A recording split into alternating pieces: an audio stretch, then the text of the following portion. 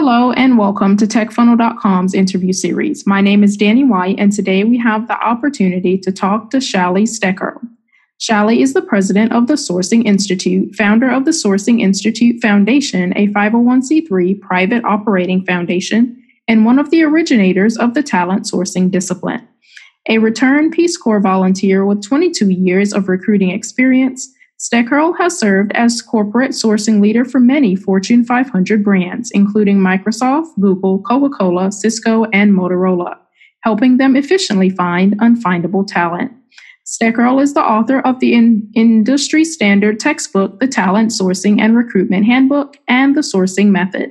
He has served as adjunct faculty at Temple University's Fox School of Business, where he taught the first ever full credit academic capstone course on recruitment and also served at Brandman University. He's a regular speaker at HR leadership conferences around the world and has been featured on NPR and the Wall Street Journal.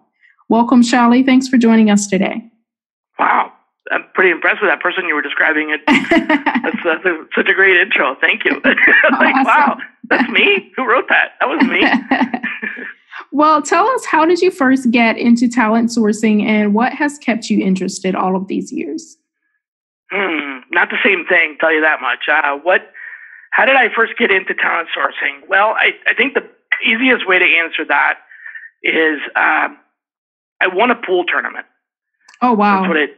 That's what it comes down to. I, I was I just returned from the Peace Corps. They give you some, um, you know, resettling allowance, and you mm-hmm. can use that to put a deposit in an apartment and get a car and buy clothes because you really don't have very much left. Everything's pretty tattered.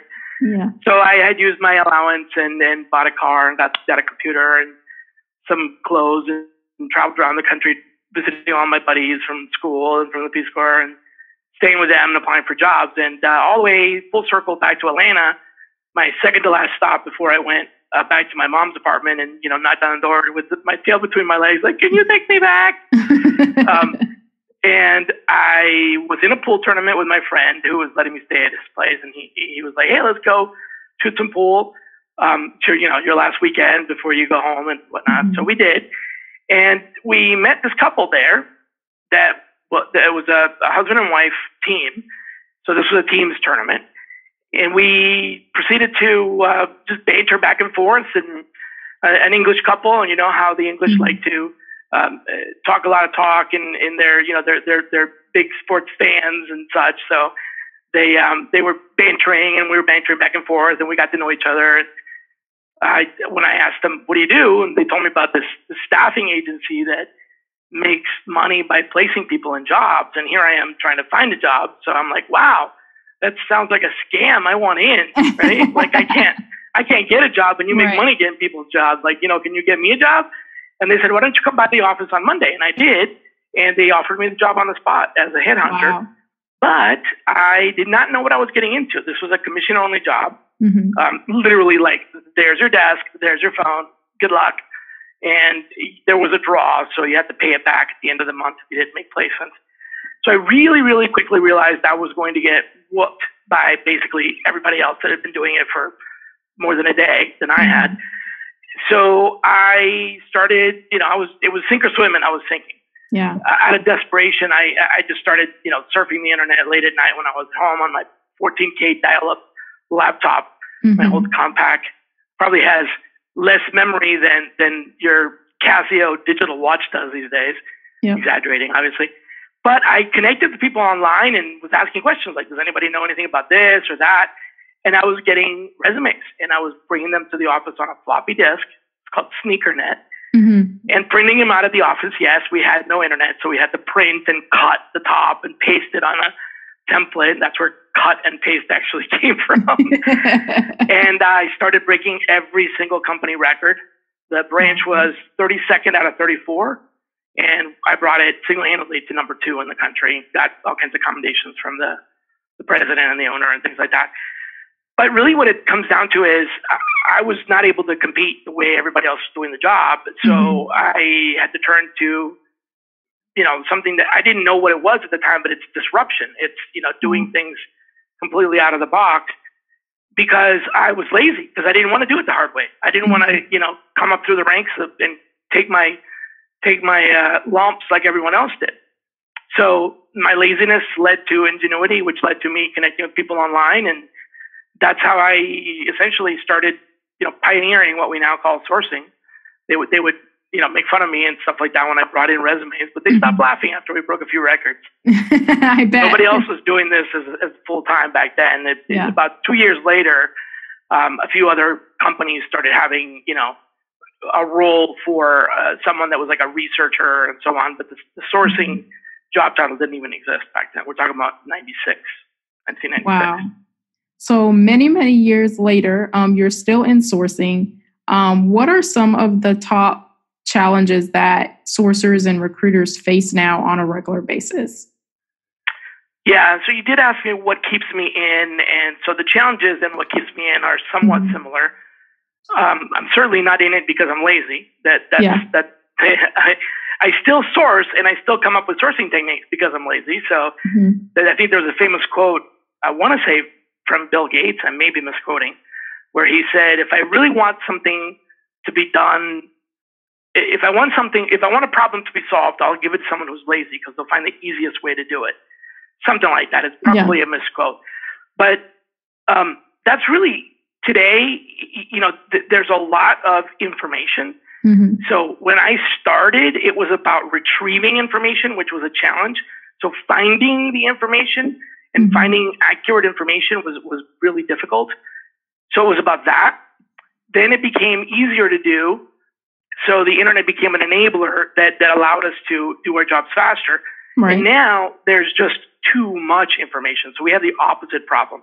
There's so much junk, garbage, you know, spam, whatever you want to call it, that, you know, using the internet as a, as a, as a tool to source candidates, um, the, the challenge now is basically filtering. It's mm-hmm. learning to um, eliminate the, the junk so you get only the results that you want, or else you spend hours and hours chasing down, you know, every little rabbit hole until you find a sale on Amazon and end up shopping before right. you realize it. so the challenge now is really the, the filtering and another part of it, a really big part of it is the engagement, getting people to actually respond, mm-hmm. talk to you, and really have those conversations. So um, that's the that's what challenges sourcers these days, and what keeps me in is solving those problems. I'm still very much a problem solver, a puzzle a puzzle solver. Definitely. So you talked about the the latter challenge of getting people to respond, the engagement level. What are some of the techniques that you've come up with lately um, to get people to respond to those postings or to sourcers and recruiters?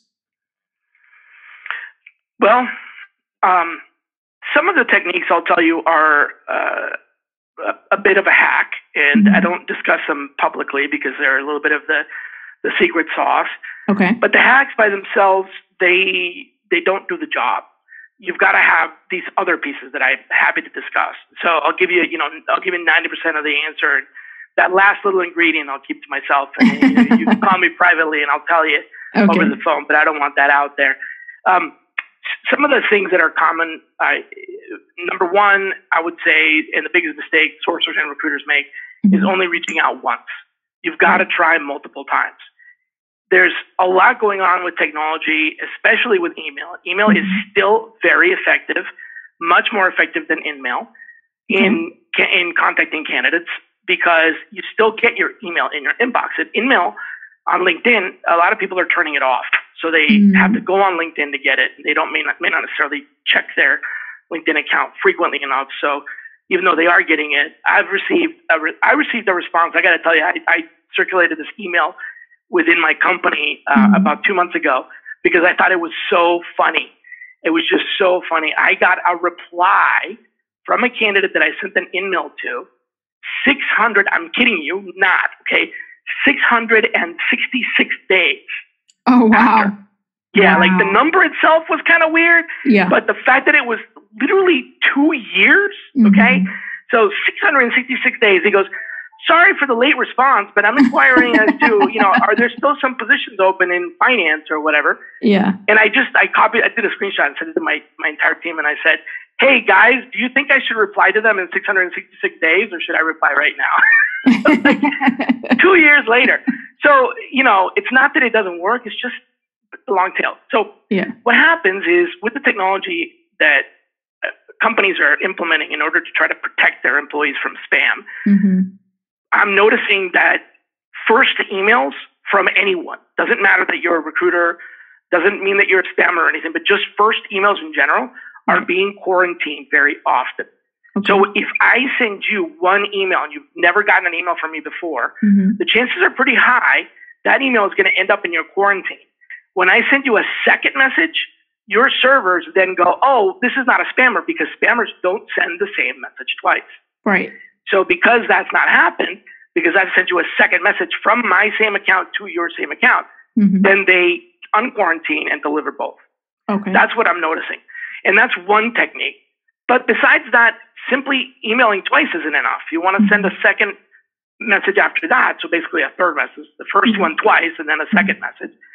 Um, you want to send out other types of communication. You want to send them a text message, try to reach them on Facebook and Twitter. Mhm. And before you go, oh, why would I send anybody a message on Facebook or Twitter or whatever? Here's the thing. If you feel like you need to get a reply from a candidate via email, then Mhm. you're prejudiced. right. That is your prejudice, your bias. Mhm. Because who are you to dictate how a candidate wants to respond? right. If you respond via email, great, you like email. But what if, you know, Sean likes to respond via Facebook? What if that's where he communicates? Mhm. What if Alex likes Snapchat? What if Mary likes Twitter? Who are Mhm. you to say you may only talk to me through email because that's how I want to be communicated with? Right. So, you know, when I talk to recruiters and they go, "Oh, I'm never going to send out a message through Snapchat. That's too personal." hmm Yeah, recruiting is personal. Hello, business is personal. So, you know, you want to try and get in touch with this candidate and they're on Snapchat all day, send them a message in Snapchat. That's where they are. right. Why not go where they are? Why try to force them to come to you? That's not what we're trying to do here. Mhm. So, multiple messages and multiple touch points, multiple access points is is the biggest takeaway. And then the second one is try to personalize. You know, personalization is key. Mhm. If you don't mention their name and why you're contacting them, they're not. You're just one of another pile of junk mail, right? I mean, what what Right. distinguishes junk mail? Yeah. It's the same message everyone gets. That's Mhm. what spam is. I don't know if you remember the the Monty Python scene where they coined the term spam. Yes. That's where spam comes from, not from the canned meat that, that Mhm. they love in Hawaii, but from the spam, spam, spam, spam, spam. What is spam? It's repeating the same thing over and over and over, and that's what not personalization does. Right. When you personalize, you're letting this person know, hey, I took a minute. Look, I might have taken five seconds to look at your profile, but I Mhm. took five seconds to look at your profile, and I know what your job title is and your company, and I'm writing to you because of your name and title and company and what you do. Yeah, it Mhm. only took me five seconds, but that's better than I just found a bunch of email addresses and I spammed everyone and sent them the Wow. exact same message, hmm which is you know what a lot of recruiters end up doing, unfortunately. So personalization and touch points. Those those two are, I think, the biggest keys. And besides that, there's some little hacks on deliverability and a few other, Mhm. you know, secret tools of the trade. Um, I would say probably one of the tools of the trade I don't mind giving away is test your emails. Okay. Send them to a testing service. There's a lot of free ones out there, like Mail Tester and things like that, where they can actually give you a score of like how spammy it is. hmm You know, are there any keywords in there that you might have omitted? hmm Uh, I'll give you an example. Opportunity. You know the word opportunity. right. Well, job opportunity, right? Employment opportunity. We used to say like this is an employment opportunity. The word opportunity is a bad word. It's considered a curse word in Mhm. spam because of all the multi-level marketing. you know. right. Yeah. So it's not a you know foul word, but it is considered a spam word. Spam word. So it might get you blocked, not by itself, but if you have opportunity and, you know, some other, you know, too many images or whatever Mhm. syntax. So just test your emails Okay. and just see how you're doing. You know, I, I did that once and I had a 40%. That's 40% delivery rate, meaning Wow. that out of 100 messages, only 40 actually got there. The other 60 never even arrived. Imagine if the mail was like that. You're sending out your Christmas card and you send 100 Christmas cards out and only 40 of your relatives get them. hmm The other sister, you're like, what? I didn't get a card. What's going on? And you're like, but I sent you one. Yeah. I never got it. Well, I sent it. Look, I even have the receipt. No. So yeah, crazy world. Absolutely. Um, so you mentioned earlier about the over the massive amounts of information that recruiters get. Um, how do you think sourcers can build a, a really effective game plan to avoid getting overwhelmed by all the information that is available to them? Yeah, that's a that's a really good question. How do we avoid getting overwhelmed? So I did a webinar on on this very topic called information overload, or mm-hmm. um, the, the, the name of the webinar was mission control. Mm-hmm. I have put together a mission control document in Google.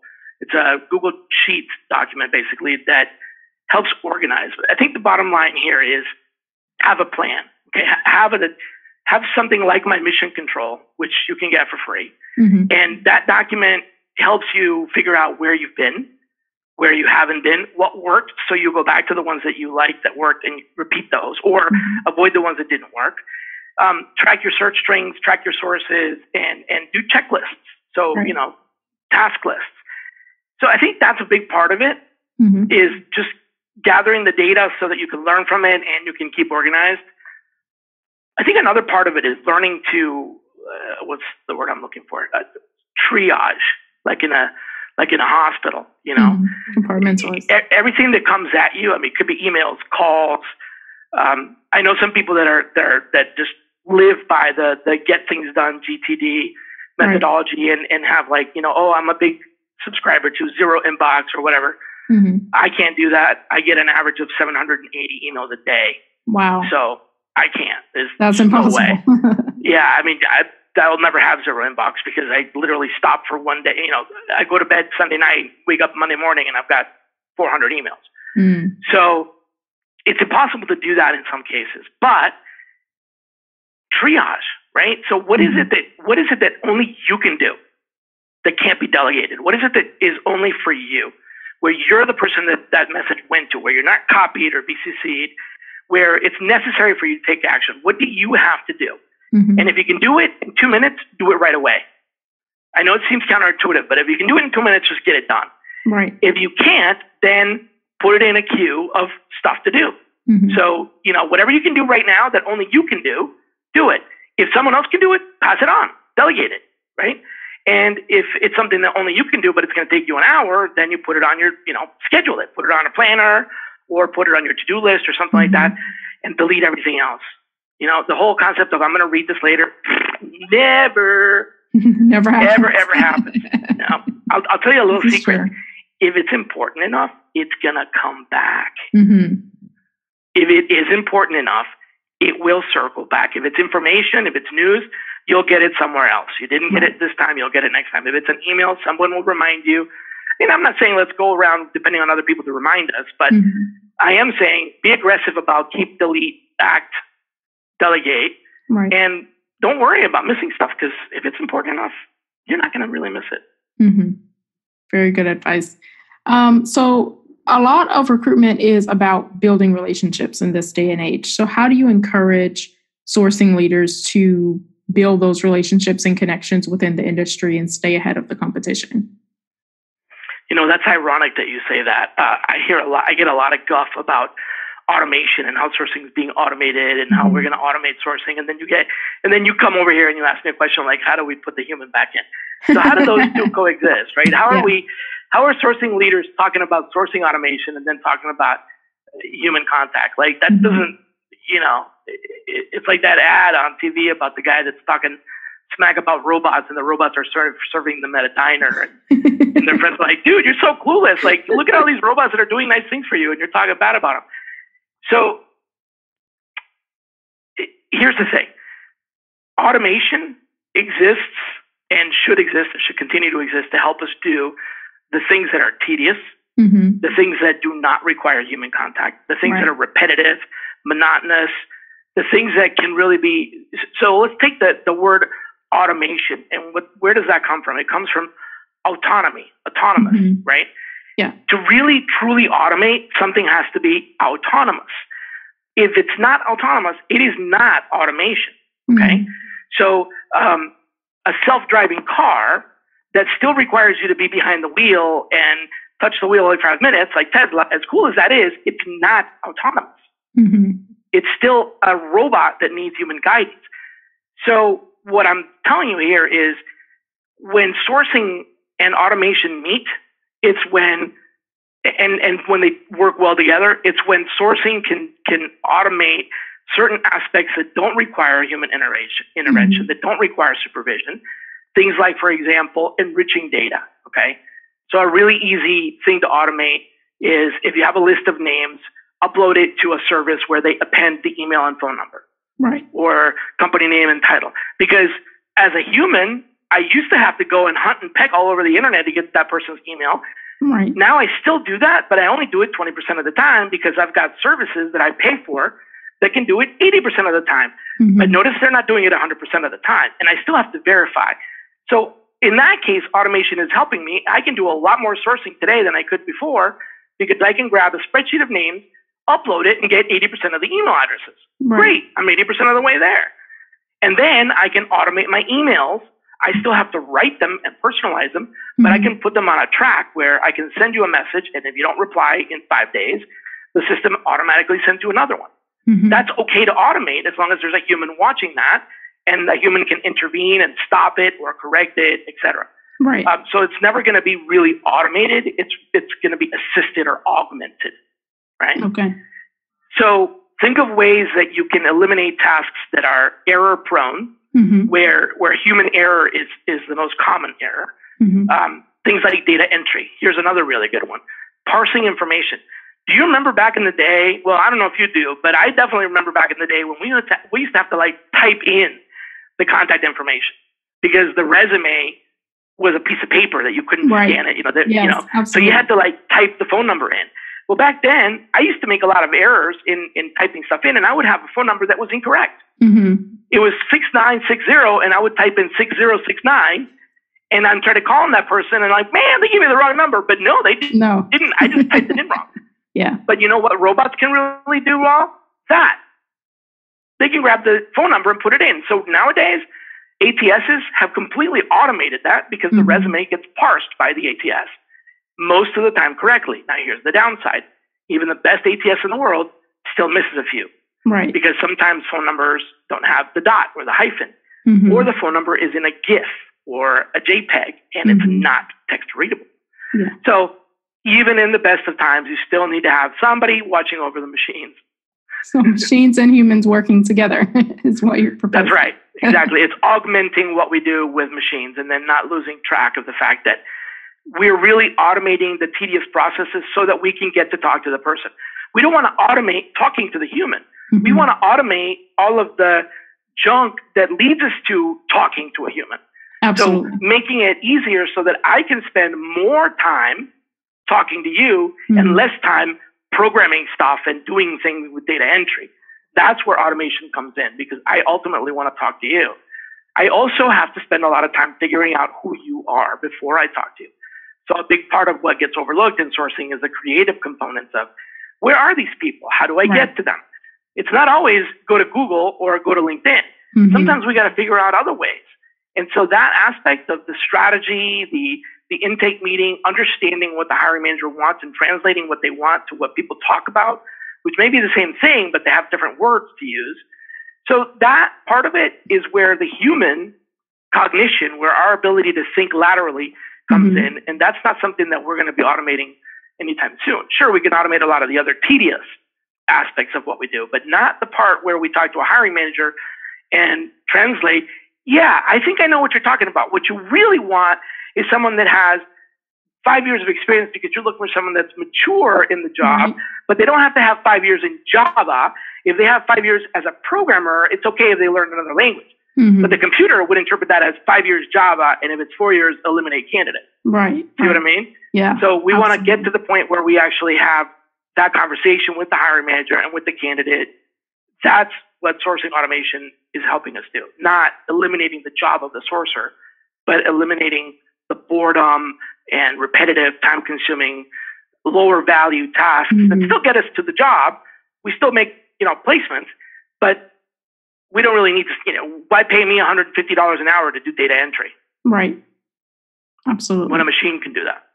But I'm definitely worth $150 an hour when I'm talking to a hiring manager and I'm asking the right questions. Right? Very true. So, Very true. What is uh, one thing that has been consistent for you in talent sourcing that you thought might have changed by now? Hmm. One thing that has been consistent for me in talent sourcing that I thought would have changed by now. Hmm.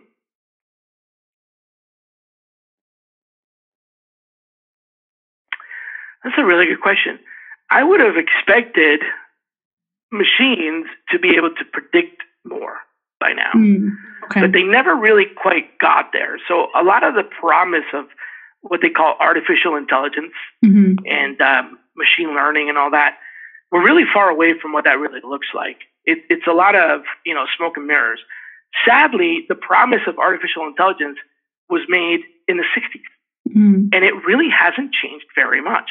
What we see out there now as artificial intelligence is really the same kind of decision tree. If this, then that. If right. this other thing, then the other thing. It's not a machine thinking. It's a machine mm-hmm. following a set of rules, Sequences, which yeah. is the exact same thing you could do with a Turing machine with paper and you know hole stamped in it. Mm-hmm. Not that different. By now, I would have thought that we would have machines. I would have thought that Siri and Alexa and um, I'm probably missing one, and Hey Google mm-hmm. or mm-hmm. whatever yeah. would actually be able to answer questions because they're thinking about it instead of mm-hmm. through you know processing language patterns. Um, so that's what I'm disappointed in. I'm disappointed in, in, in that we haven't made the progress that was promised to us mm-hmm. with regard to artificial intelligence. And instead, we're getting sold a bunch of stuff that's pseudo, that pretends to be, that looks like, you know, hey, tell me what it really is. Tell me this is really just deep learning. Mm-hmm. You know, tell me that that's what it is, and then I'll buy it because I get it and I know what the usefulness of the tool is. Right. But yeah. don't sell it to me as artificial intelligence when it really isn't. Sell it to me as hey, we got this robot that we programmed for 99% of the things you might mm-hmm. encounter. Occasionally, 1% of the time, they're wrong. Okay, fine, I'll pay for that because I don't mind spending money to do things you know that I don't like to do to have the machine right. do them. But when when you've got vendors that are out there talking about how it's oh artificial intelligence buzzword buzzword mm-hmm. and it really isn't, that actually hurts us. Gotcha. It hurts us in the long term. So that's uh, what I would say would be the one thing I wish should have changed. Awesome. Shally, thank you so much for sharing your insights um, with us. Um, we really do appreciate it. Um, where can people find out more about you? Well, um, TSI-corp. Okay. Dot com and uh, on Twitter, Shally S H A L L Y, and on LinkedIn forward slash Shally as well. Okay. So you can reach me there. But if you go to tsi-corp.com, that that'll have you know my contact information there as well. All right, awesome. Thank you so much for your time today. We really do appreciate it. Um, guys, thanks for listening to this interview. For these and other interviews and topics, you can visit us at techfunnel.com and connect with us across social media and subscribe to our weekly newsletter. Thank you so much. Thank you. Bye bye. Bye bye.